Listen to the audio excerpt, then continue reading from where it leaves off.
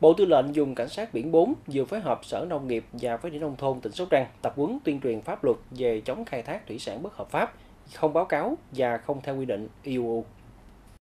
Các đại biểu và bà con ngư dân được giới thiệu luật cảnh sát biển Việt Nam, luật thủy sản năm 2017, Nghị định 26 trên 2019 của Chính phủ, thi hành luật thủy sản, phân định ranh giới biển giữa Việt Nam với các nước trong khu vực, quy định pháp luật Việt Nam về xử lý tàu cá vi phạm. Đồng thời, lực lượng chức năng còn tuyên truyền vận động chủ tàu cá khai thác xa bờ, thuyền trưởng thực hiện nghiêm túc việc ghi nhật ký khai thác hải sản, lắp đặt, vận hành thiết bị giám sát tàu cá, bảo đảm đúng quy định và ký cam kết không khai thác hải sản trái phép. Dịp này, ban tổ chức đã trao 10 phần quà cho hộ nghèo có hoàn cảnh khó khăn, mỗi phần 1 triệu đồng tiền mặt, tặng 20 túi thuốc y tế, 30 ảnh bác, 350 cờ tổ quốc và áo phao cho người dân. Tại kế sách, Ban dân tộc tỉnh Sóc Trăng vừa phối hợp tập huấn nâng cao năng lực cho cộng đồng tham gia thực hiện chương trình mục tiêu quốc gia phát triển kinh tế xã hội vùng đồng bào dân tộc thiểu số trên địa bàn tỉnh Sóc Trăng năm 2023. Các đại biểu được thông tin các chuyên đề về tổng quan chương trình mục tiêu quốc gia và các chính sách dân tộc có liên quan, kỹ năng phát triển cộng đồng, kỹ năng kiểm tra giám sát, nghiệp vụ giám sát thi công công trình,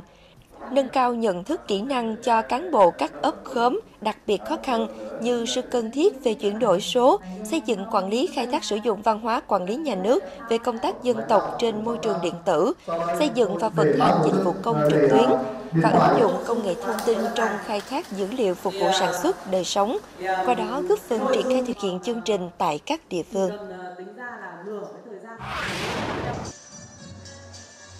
Sáng ngày 27 tháng 3, Sở Giáo dục và Đào tạo Sóc Trăng tổ chức hội thi giáo viên dạy giỏi cấp học mầm non tỉnh Sóc Trăng năm học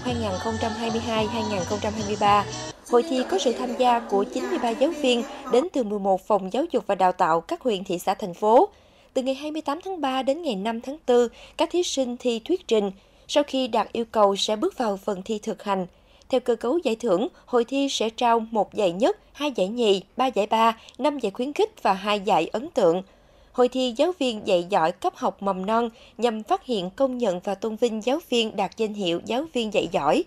Qua đó là cơ sở để ngành giáo dục đánh giá được thực trạng giáo dục mầm non, có căn cứ xây dựng kế hoạch đào tạo, bồi dưỡng, nâng cao nghiệp vụ chuyên môn cho đội ngũ giáo viên, đáp ứng yêu cầu đổi mới giáo dục mầm non. Qua hội thi, những giáo viên đạt thành tích tốt nhất sẽ được tuyển chọn tham dự Liên hoan giáo viên dạy giỏi cấp mầm non toàn quốc trong thời gian tới. Thị đoàn Vĩnh Châu vừa ra mắt công trình thanh niên chuyển đổi số trong quảng bá di tích lịch sử văn hóa, nhà bia lưu niệm thành lập chi bộ Lạc Hòa, xã Vĩnh Hải. Công trình nhằm truyền tải thông tin, tuyên truyền, giới thiệu về địa chỉ đỏ, di tích có giá trị lịch sử văn hóa truyền thống trên địa bàn thị xã Vĩnh Châu, thông qua việc lắp đặt mã phản hồi nhanh QR code. Theo đó, tất cả các hình ảnh, nội dung, quá trình hình thành khu di tích sẽ hiện ra sau khi quét mã tại di tích. Đây là công trình thanh niên để thể hiện tinh thần xung kích tình nguyện sáng tạo của tuổi trẻ trong việc tăng cường ứng dụng các thành tựu khoa học, đồng thời chuyển đổi số trong lĩnh vực văn hóa du lịch.